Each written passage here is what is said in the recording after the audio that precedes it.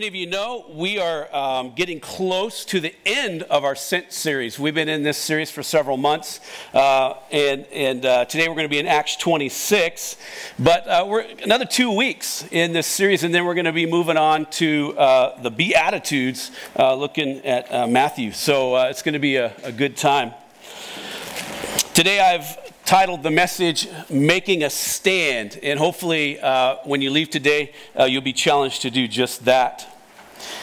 In September of 2013, a Minnesota Dairy Queen had been swarmed with dozens of phone calls, hundreds of comments, and an influx of business after a story about their 19 year old manager uh, courageously defends a blind man, and it went viral on this thing called Reddit, which is like this on, online news source.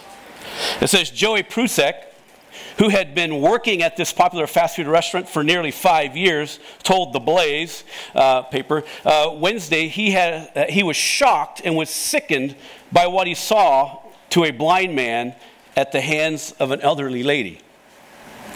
Prusak said that last Tuesday, one of his frequent guests, a man who is blind, walked into the local Dairy Queen, and when the blind man took out his wallet to pay, a $20 bill slipped out of his pocket. An elderly woman behind the man then quickly snatched the bill off the floor and put it into her purse. Prusak took matters into his own hands, and he explains. She walked up to the counter and I asked her to please return the $20 bill to the gentleman. She looked at me like, you know, what are you talking about?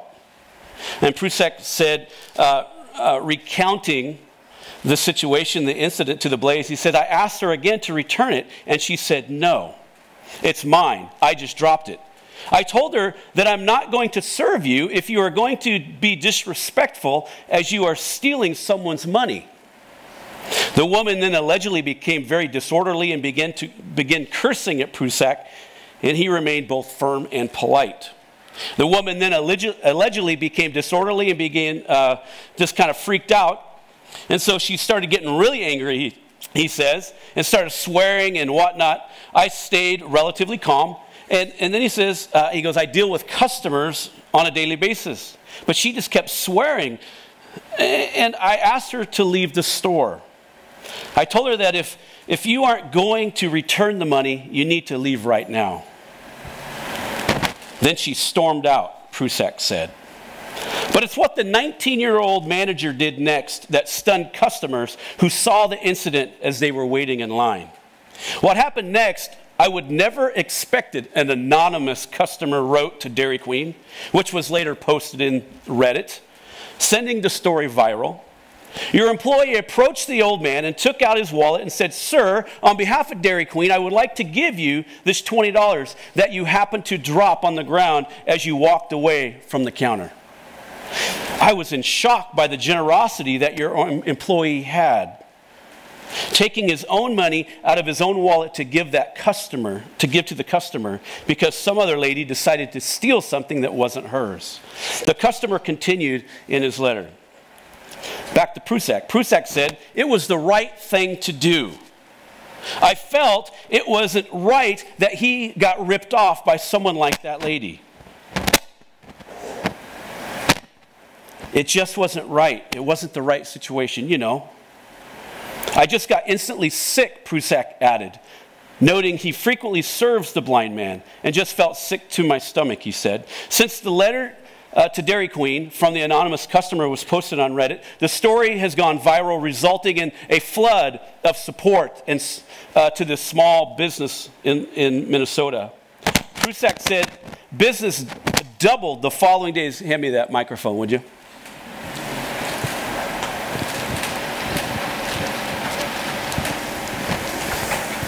Thank you, sir. We're ready to go. All right. Prusak said that the business doubled the following weeks to, days to come, and, as, uh, and that dozens, touched, dozens of touched customers have called him to thank him for his actions. But he said his boss's reaction was one he will forever remember.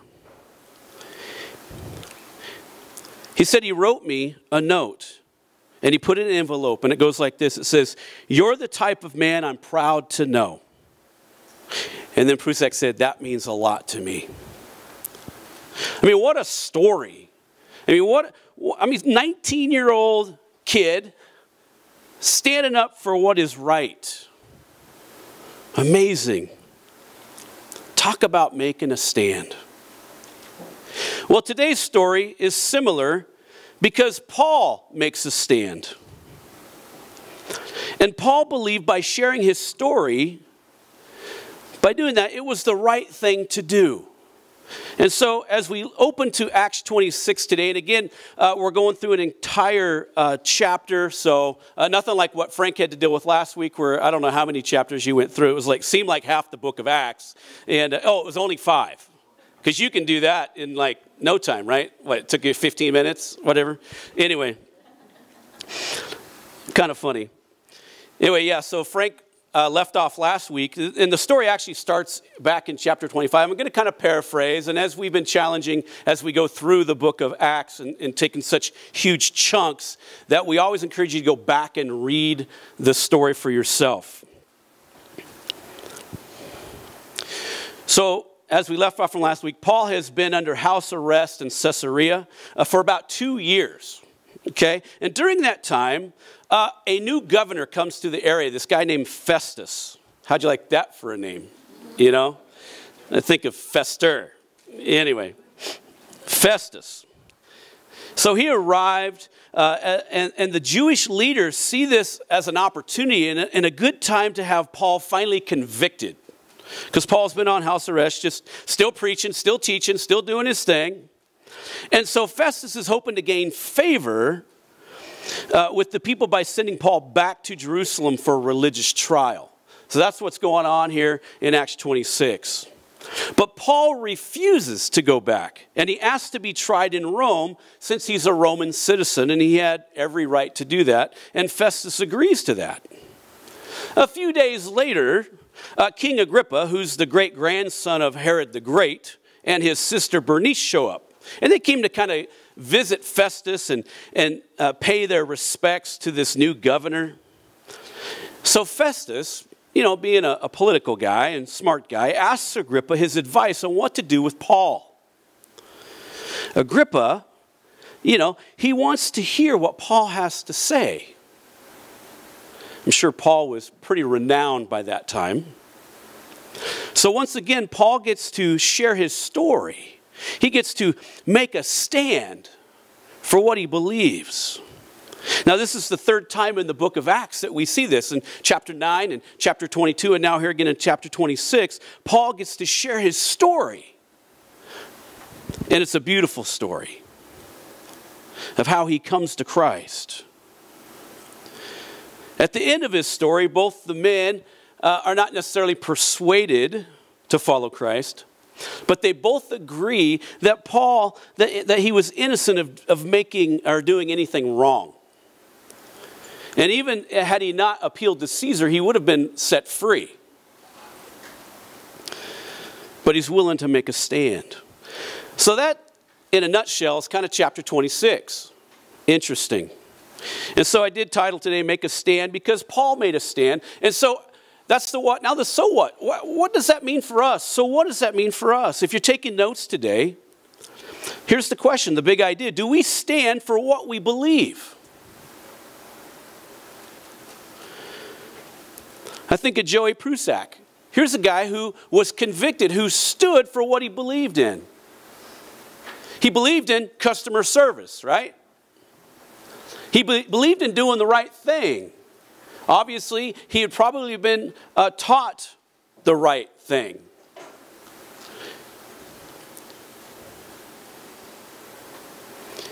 So, do you stand for what you believe? Especially if you're here today and you're a follower of Christ.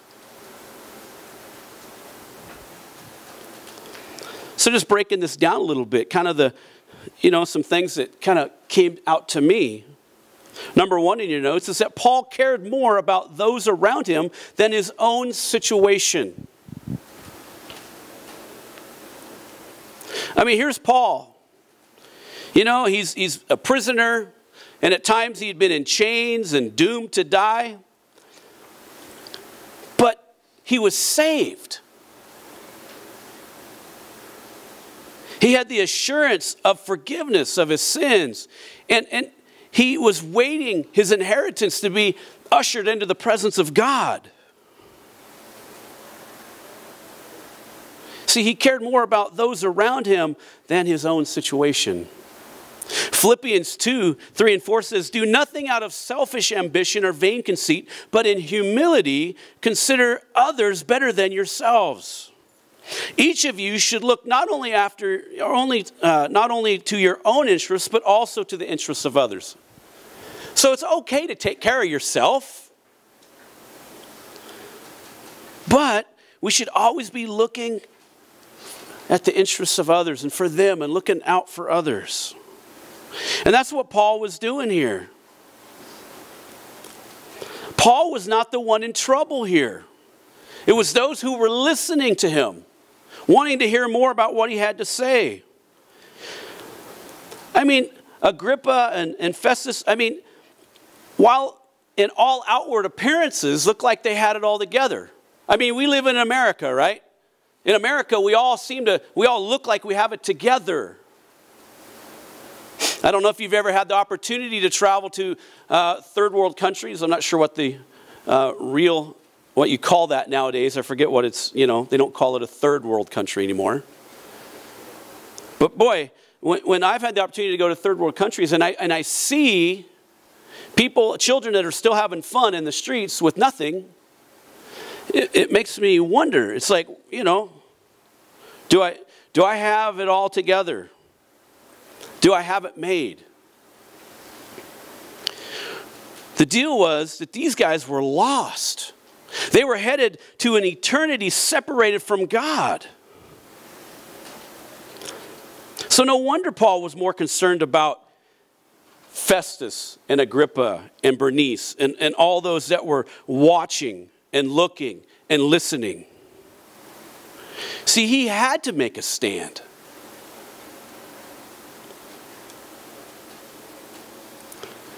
So I guess one of the things that I'm going to throw out to you today, something to really process this week, is, is how often do we think about ourselves and our problems before considering others? Number two, Paul's defense was his testimony. See, in this case, in Paul's case, describing what he once was and did and how uh, the good news had radically saved him is what he had to impact his listeners with. And for us in here that have a personal relationship with Jesus, that's the one thing, I mean, we've been talking about this for months about how important our story is. We have this opportunity to impact the world with our story. Because our stories will do the same thing. I'm going to pass out a piece of paper. It's in the back, and it's just called, you know, My Jesus Story. Uh, I think Redwood's doing this, and I think Pastor Mark talked about this last week downtown. But uh, I'm not going to take the time for us to fill these out this morning, even though I, should, I should, probably should, because it's probably like you know, not normal to do that in church, right? But I want you guys to, to look at this. And, and, you know, we're talking about our testimony, we're talking about our story, but here's just some practical notes on how to develop a story if you've never done that. Most of you already, I mean, you know your story that have come to Christ. I might have ran out. Okay, if you need more, let me know. I'll have to get more printed off.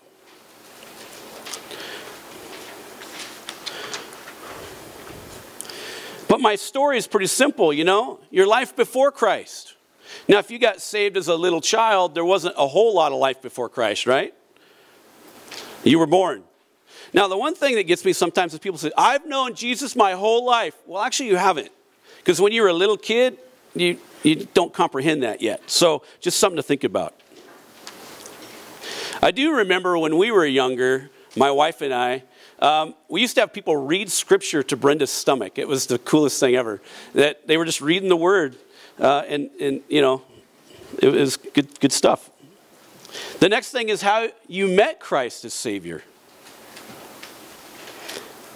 And the last one is life since meeting Christ. And that's just kind of a little three way thing that, you know, if you're getting in a conversation with somebody, just a, a way that you can stay focused on your story. Maybe you're here today and you don't have a Jesus story. Maybe in the process of this, it's you're still at the point of your life before Christ. And so I would ask you today to consider a personal relationship with the living, loving God. And you can start your story today as well.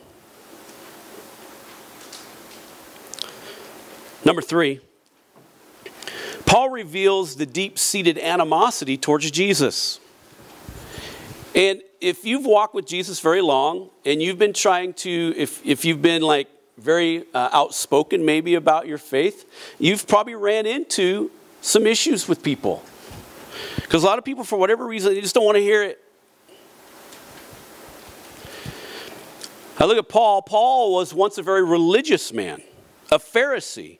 But as a Christian, he is now a true Jewish man, enjoying uh, and, and looking forward to the hope of Israel.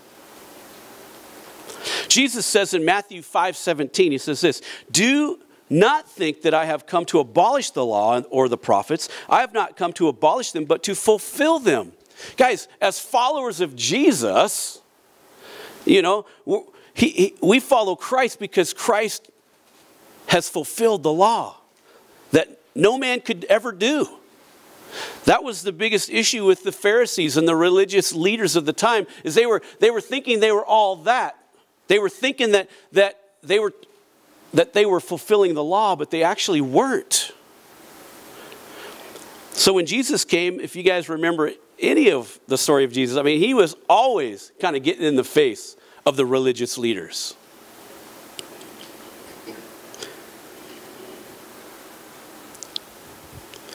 Also, the conversion of the Gentiles is really not that much different. And that's why we're here today. Because I, I, don't consider myself a Jewish man, I'm a follower of Christ, I'm a Christian. And what happened was, you know, Paul went to the Gentiles, and because he went to the Gentiles, because he stepped out in faith and did what God called him to do, we're sitting here today. Pretty cool. What is God calling you to do to step out and make a difference? And you may never, I mean, Paul obviously isn't here 2,000 years ago. I mean, a lot of time's gone by. But I wonder if he would walk in here today, he would probably be just blown away that there's a group of people that meet in Murphy, Oregon to worship Jesus. Why? Because Paul was willing to step out and make a stand. Anyway, people do not evolve in faith and towards faith. They're, you know, prone to actually hate God, to oppose the gospel. People cannot be logically convinced and converted any more than Paul could. See, in order for us to be converted, God must radically and powerfully intervene into the lives through the power of the Holy Spirit, convincing us that Jesus is alive. It's Christ overcoming death is what gives us the ability to get saved. And we have to believe that He is the Messiah, the sent one.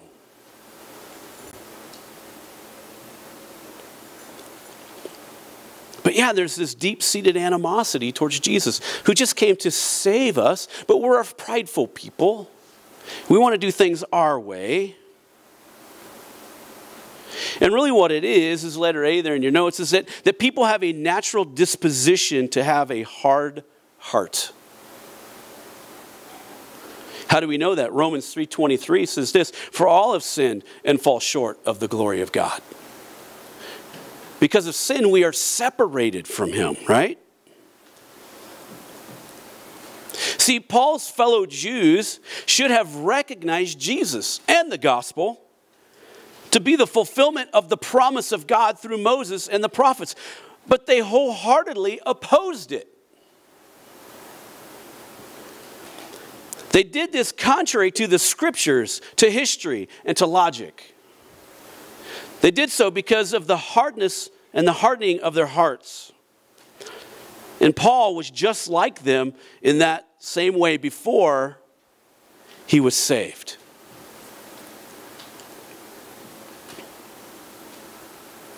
Hebrews 3 says this 12 and 13 says, Be careful then, dear brothers and sisters. Make sure that your hearts are not evil and unbelieving, turning you away from the living God. You must warn each other every day while it is still today, so that none of you will be deceived by sin and hardened against God. New Living Translation. So understand when we're sharing our story that there's a lot of people out there that kind of have this hard heart. And maybe they've been burned by the church in some way. And they don't quite understand. That's why I feel like your story is going to be way more valuable than just inviting somebody to church. That they hear your life and how God has changed your life. That's how it's going to make a difference in the world. And finally, number four, Paul reminds the people that Jesus rose from the dead. What Festus says in verse 24 of chapter 26 basically, Paul, you are out of your ever living mind. You're crazy, somebody raising from the dead. That's nuts. And guess what? As you share that kind of thing, I mean, we talk about it all the time, right? The resurrection and the life. I mean, we're Christians. This is what we believe. But that's kind of crazy to a non believer, right? It's like, that's just wild. But guys, it's that resurrection is what gives us eternal life, it's what gives us salvation.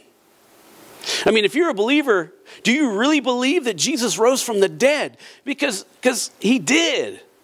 He resurrected. Guys, that is, that is a key. That is a non negotiable doctrine of Christianity. I mean, many of us, followers of Christ, believe in principles, truths, and doctrines, but we refuse to actually make a stand and put them into practice. I mean, we may say we believe in the goodness of God and His omniscience, knowing all and his omnipotence, having all power. But when times get hard and when life seems to challenge these truths, many times we are not so willing to act upon the truths which we claim to believe. Guys, that is what a non believing world simply believes, that simply believes that it's unbelievable. This is why they, they don't necessarily want to follow after Christ. So I guess that would be a challenge today that we understand what we believe and why we believe it.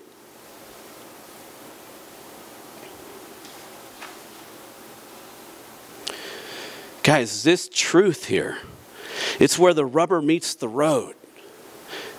It's where we walk the talk and where we practice what we preach is when life gets hard, when life doesn't make sense.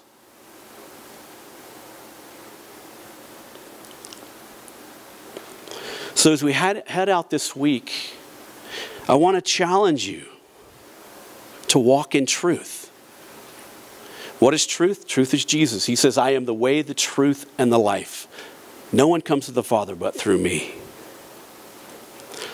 So, are we willing to take a stand as we are sent to make a difference in the world. Let's pray. God, today I do thank you for what you're doing in this, this little fellowship here in Murphy. And that, God, that you truly want to make a difference in the lives of people in this community, and you want to use these folks right here to make a stand. And I know where most folks are at here today. I know most of the folks here love Jesus and they want to grow in Christ.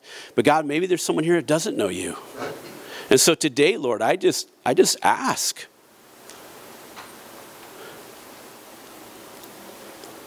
If that's you today, and you're like, man, I, I need Christ. With, you know, every head bowed, if that's you, would you just slip up your hand? Anyone? Okay. And maybe you're here today, and maybe maybe something in this message really struck a chord with you, and you're, you're like, man, I am just, I'm not making a stand. And you would like to make a stand? Would you just slip up your hand so I can pray for you? Those that are getting ready to head back to school and back, you know, going to work. Yeah. Okay.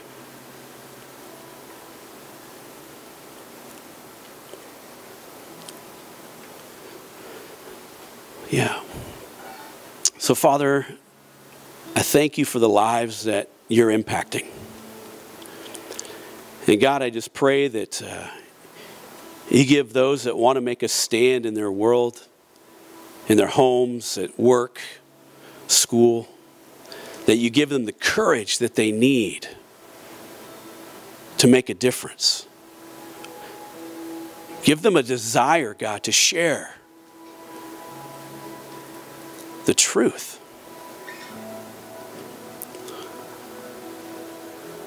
Thanks, God, for all that you do. We truly love you. In Jesus' name, amen.